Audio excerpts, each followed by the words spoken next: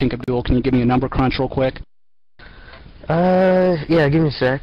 I'm coming up with 32.33, uh, repeating, of course, percentage of survival.